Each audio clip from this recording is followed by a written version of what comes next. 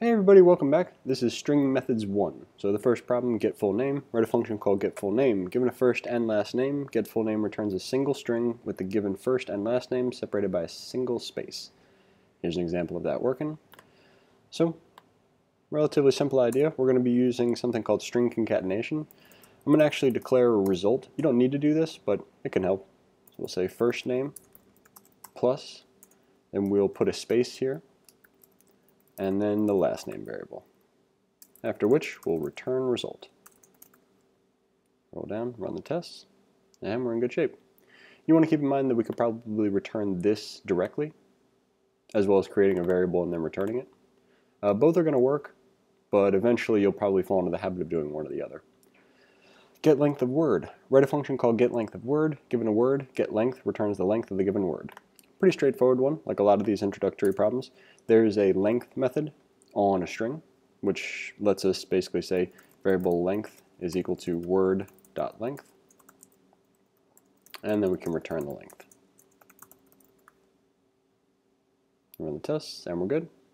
To be sure, the same idea applies. We could absolutely just return word dot length because that expression um, evaluates to the same thing get length two words. Write a function called get length of two words. Given two words, uh, get length of words, get length of two words returns the sum of their lengths. So we're going to follow the same pattern. And we'll get rid of this. We'll say variable length 1 is equal to word 1 dot length. Variable length 2 is equal to word 2 dot length. We'll say variable um, results is equal to length 1 plus length 2. Return result. And again, well, first let's make sure that this works, and it does. Um, definitely, definitely could just return word 1 dot length plus word 2 dot length. We did a little bit more verbosely just to make sure that all the steps are clear. But to be sure, we could absolutely say something like, um, we'll put on the next line, return word 1 dot length plus word2 dot length. And I know there might be an issue with some of these problems with copying and pasting. You want to figure that if you're writing syntax for the first time, you don't want to copy and paste. Like the if-else statements, declaring variables, writing methods, a lot of these things you're going to want to write out.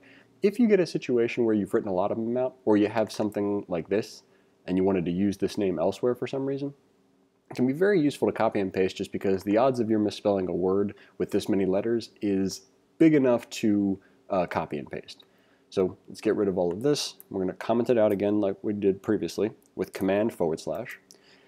It'll turn all of this into comments, meaning it's not going to get run. So line 6 is the only part of the function definition that's actually being run.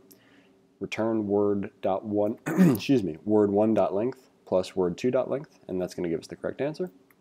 So thanks for watching this appreciate your hanging out with us. Hopefully these are going to get a little bit more complicated as we go, but wanted to provide the solutions uh, just so no one gets stuck and doesn't have anywhere to go. So thanks again for watching, and we'll see you in the next video.